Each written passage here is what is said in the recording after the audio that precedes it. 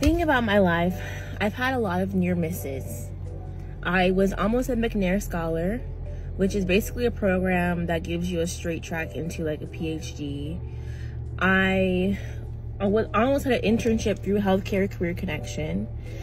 Um, and every single time, stuff just didn't work out. I almost was on this research project um, in undergrad, and both times I tried to join the team, those opportunities did not work out. So I don't know what it is about the plan that God has for me, but when you pray, Lord, guide me and keep me, He's gonna guide you, and He may put you, or you may put yourself in situations of rejection where God is like, mm that's not where you're supposed to be, cancel. And something will just not work out because it's not where you're supposed to be.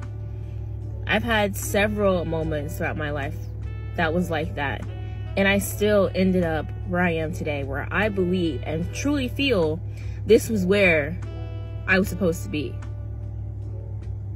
Everything. And I feel like everything in my life has happened for me to end up where I am today. And I'm grateful for that. I really, truly am.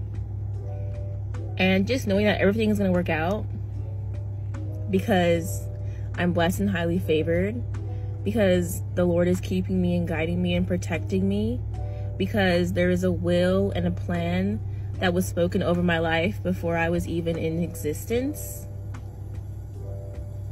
That's comfort right there.